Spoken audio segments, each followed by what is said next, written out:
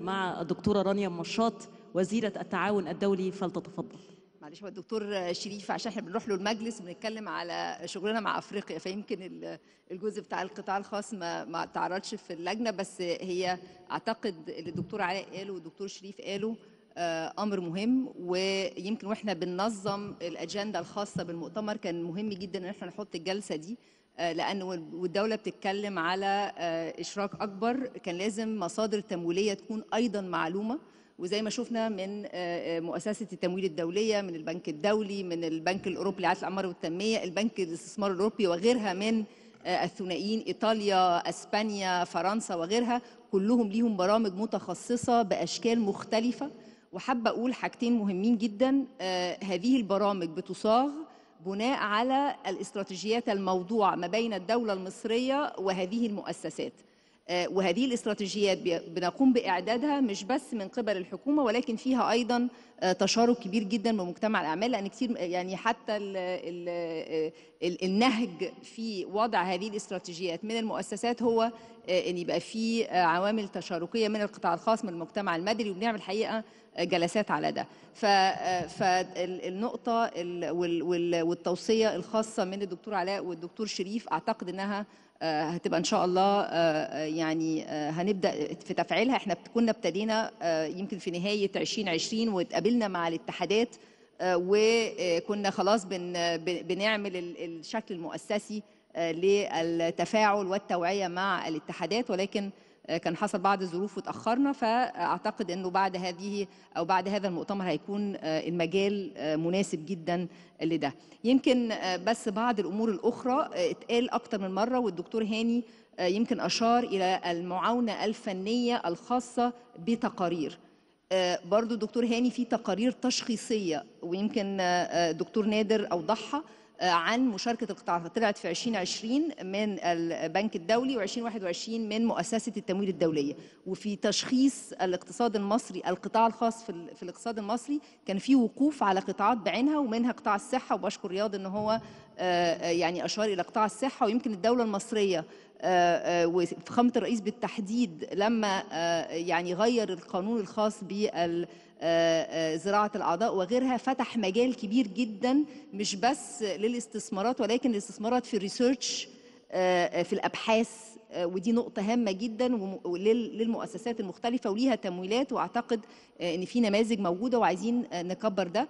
قطاع آخر كان مهم آه، قطاع الزراعة وال food processing أو آه، آه، آه، الغذاء. ودي نقطة آه، أخرى. حضرتك برضو اتكلمت عن المعاونة الفنية في ال PPP يمكن والدكتور معيط معانا في قانون جديد للشراكة ما بين الحكومة والقطاع الخاص وعد أعتقد من مجلس الشيوخ ومجلس النواب والجزء الخاص بالوحدة آه، في آه، وزارة المالية آه، حصل فحص جديد وفي تعاون جديد ما بين البنك الدولي وال IFC ووزارة المالية للوحدة دي بالتحديد علشان الوقوف على آه، يمكن بعض ال- آه، الأمور اللي يمكن لم تفعل بشكل كبير ولكن آه، الدور بتاعها آه، موجود في القانون وأيضا آه، آه، متضمن في technical assistance هيكون مقدم آه، من هذه المؤسسات. فالنقطتين دول بس حبيت إن أنا أوضحهم لأنه زي ما في يمكن التمويلات مش مش واضحة بشكل كبير أيضا الدراسات ال...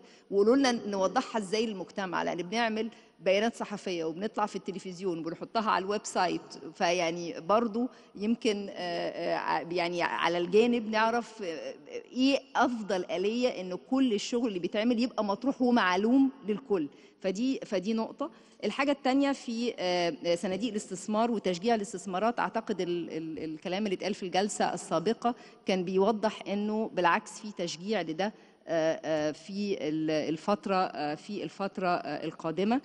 كان أيضا اتقال على موضوع الأهداف أو البريوريتيز أو الأولويات في الفترة القادمة سواء كانت اللي هي تحلية المية أو ال green hydrogen أو ال- الزراعة وأيضا الطاقة الجديدة والمتجددة وده كله تحت آه، مظلة مهمة جدا المنصة الخاصة آه، بنوفي. ونوفي استخدمناها nexus of water food and energy وكلمة نوفي لأن هذا الكوب أو آه، مؤتمر المناخ القادم آه، هو من التعهدات إلى التنفيذ.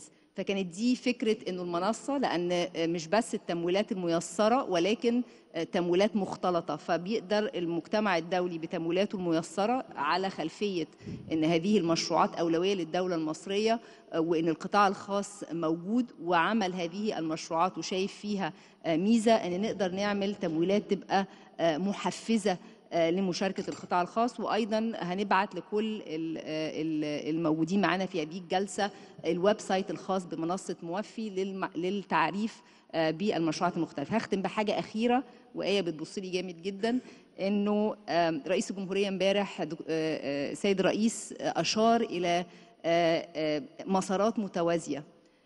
وده اللي حاصل كمان يعني تلبية للمسارات المتوازية. كان في تمويلات متوازية من شركاء مختلفين.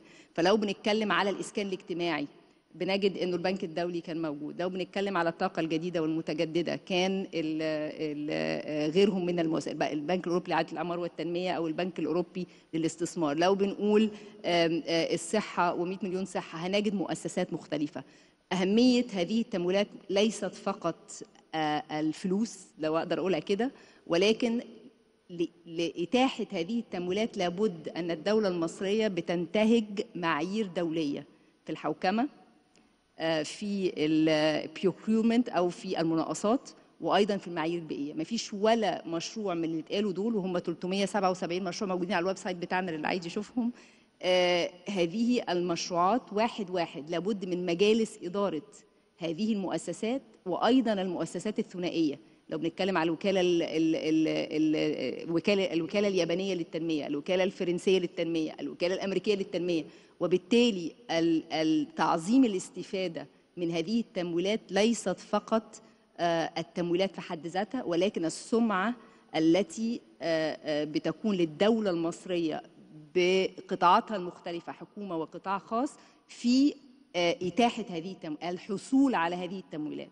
التفاوض عليها أن كل المعايير تبقى موجودة وده في قطاعات الدولة كاملة. فإن شاء الله الفترة الجاية إحنا زي ما إحنا شايفين الدنيا في التمويل الدولي صعبة ولكن قدرة مصر وقوتها على إتاحة تمويلات وحشد تمويلات إضافية موجود موجود بالرؤية الموجودة وأيضا بالقطاع الخاص اللي نفذ مشروعات في السابق وبالتالي له صحيفة أعمال محترمة جدا مع هذه المؤسسات. شكرا جزيلا. وأسف على الإطالة بس يعني يعني نفسنا إنه الشغل اللي موجود مع كل ال... وبعدين لما بنقول يمكن هايكي من البنك الأوروبي لاعاده الاموال والتنميه ودي كلمة مهمة جدا كلمة الشراكات partnerships partnerships مش بين الحكومة والجهة فقط ولكن الحكومة والقطاع الخاص والجهة الممولة أو المجتمع الدولي وأيضا مجتمع الأعمال اللي هو بيبقى أيضا ال NGOs أو ال civil society شكرا جزيلا. بشكرك شكرا جزيلا معالي الوزيرة الدكتورة رانيا المشاط وزيرة التعاون الدولي.